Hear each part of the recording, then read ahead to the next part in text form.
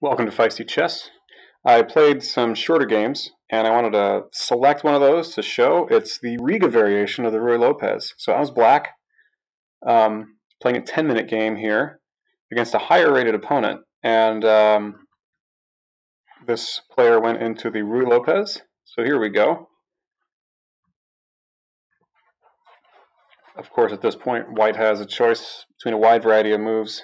Um, Bishop b5, the Ruy Lopez being the most popular, especially the higher up you get.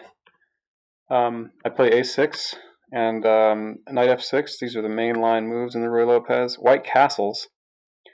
And in doing so, he's leaving that e-pawn open to capture. But if white knows what he's doing, it's not a problem. This is this is a book move. Knight takes e4. I like to play it. It's called the open variation. Most people here would play the closed Ruy Lopez with bishop to e7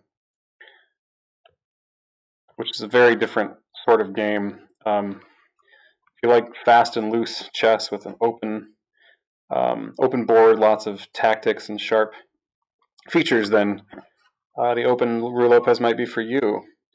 And most white players know uh, at this level they know that d4 is the best move, not not rook to e1 here.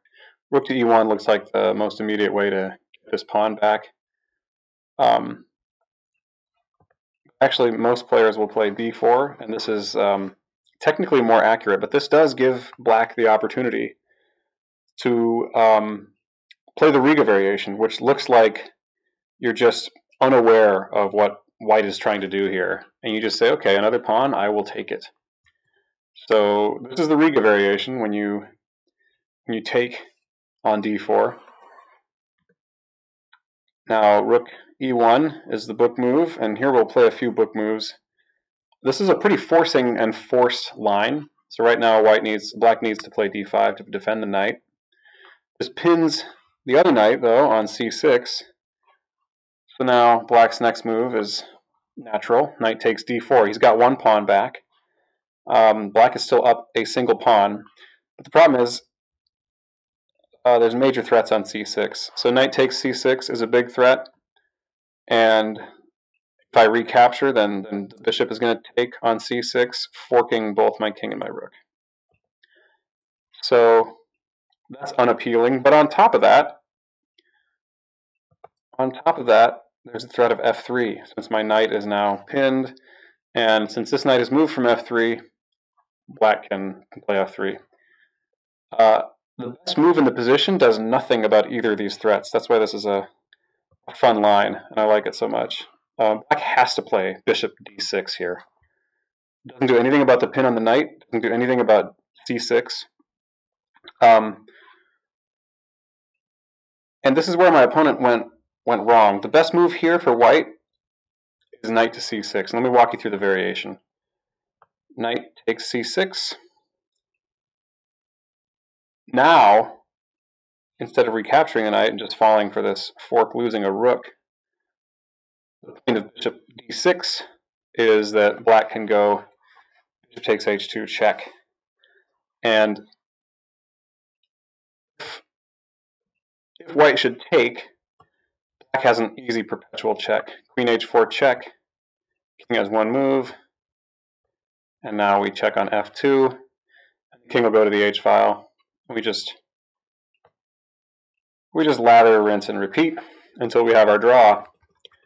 This is why, um, and, and once once black takes, once white takes that bishop, black has nothing better than a draw. So the Riga variation is good against higher rated players, or if you're if you're comfortable with a draw.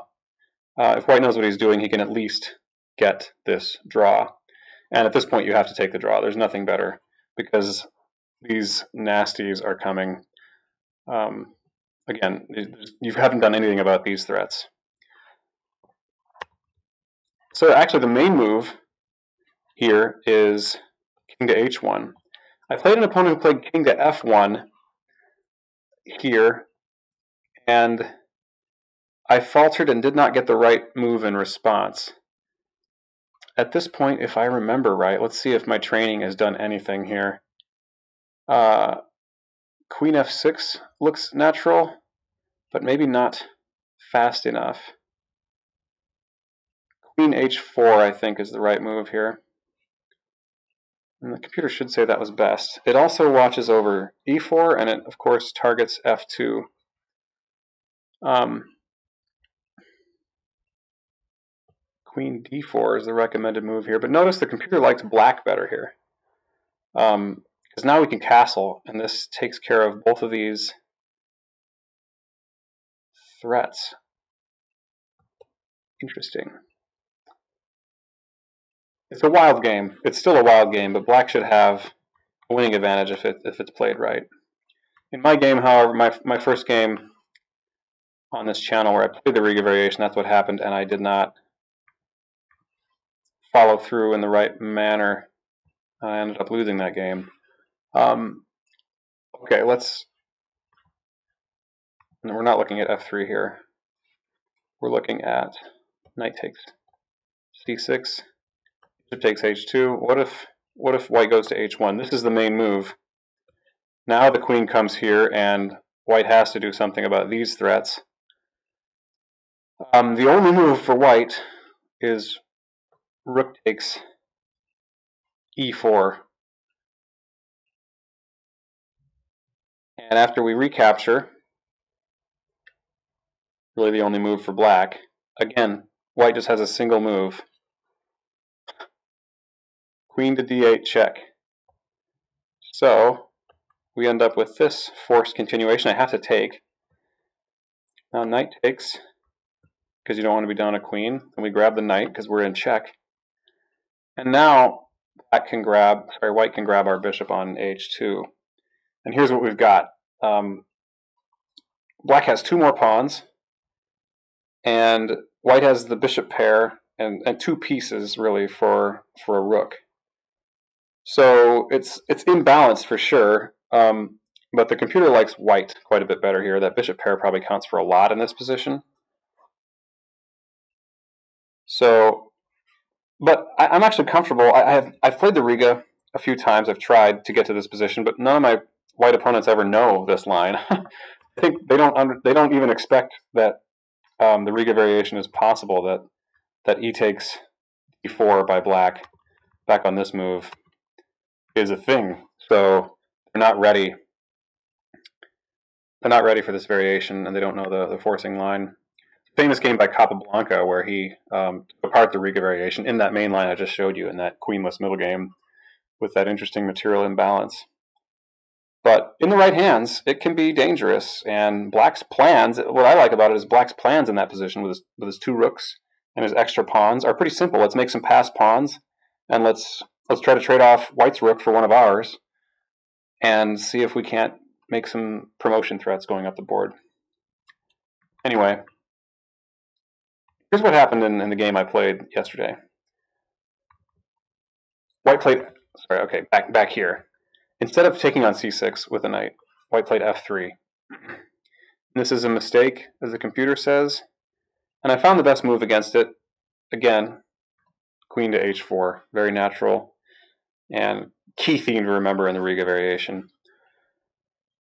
Um, so now black, white doesn't have time to take with the knight because we're making threats on h2. We've got bishop takes h2. And now the king can go to f1 and get mated on f2. Or he can go to h1 and try to survive this kind of thing. yeah, bishop g3 check, king g1, just take on e1. Black, white, I can even ignore the threats on the knight and, and this business here. So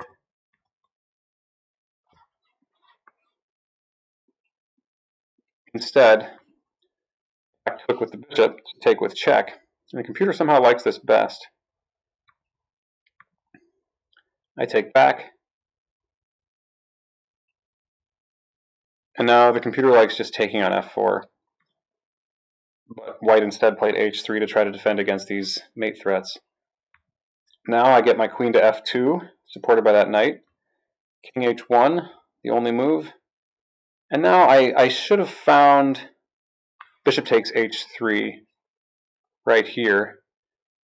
Um, because my bishop, if, if he takes, I'm threatening a mate on g2, and if he takes this bishop, there's a mate on h2, because the queen can now come to h2. Backed up by this bishop and just give mate. Um, this gets another piece into the attack. White probably has to play it says rook takes e4 is forced, but this might be a natural looking move. Uh, but then queen g3, and there's nothing to be done about this mate because the battery of the queen and bishop. Instead of finding takes h3, I played queen back here, threatening the mate on h2 directly. But then white found this nice move, f3, sorry, f4. So I took on f4, wait, I'm sorry, not just yet. I, I, castled to try to release this pin on my knight, uh, activate that knight. Still, again, bishop takes h3 would be, would be very good. Let's look at that line in this position. Bishop takes h3. Now what if pawn takes? Queen takes, check.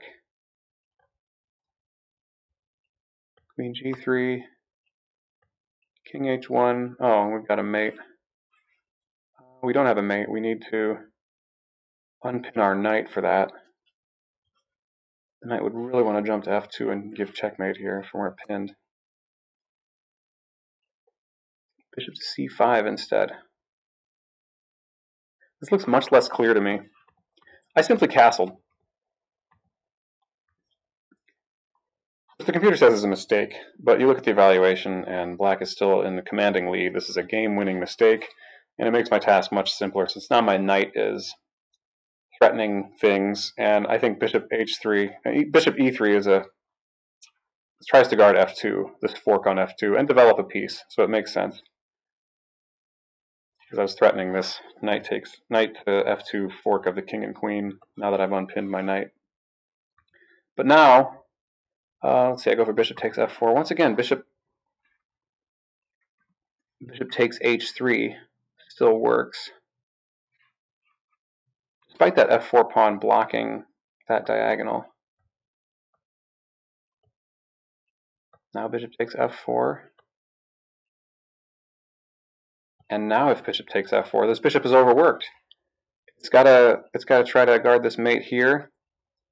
But also if it go if it takes on f4, you see the mate. The knight comes here and mates. If the bishop tries to guard both, this is kind of fun. If the bishop tries to guard both, you can just give this fork here anyway, and if the bishop takes, we're mating. Actually, look at this. No, mate in 2. Mate in 2 is better. okay. Instead, I went for bishop takes f4. And then black played bishop takes f4. Queen takes f4 is a mistake. I should have gone for the fork immediately. Hmm. It's not that big of a mistake. I mean, it's three points of an evaluation, but I'm still five points ahead. Still threatening that fork on f2. Um, white brings the king over to try to avoid that fork. An interesting choice. Now I get my queen to f2 once again, and now bishop takes f2. H h3 is finally played. Um, Black's best move here would be to try to defend with the queen to f3, funny enough, um, at which point we can simply take the rook. King to h2. Bishop to g4, huh? Queen takes g4. Knight f2. Hmm. Bold stuff.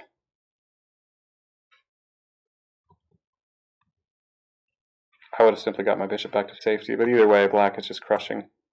But instead of finding any clever computer type defenses, white just took.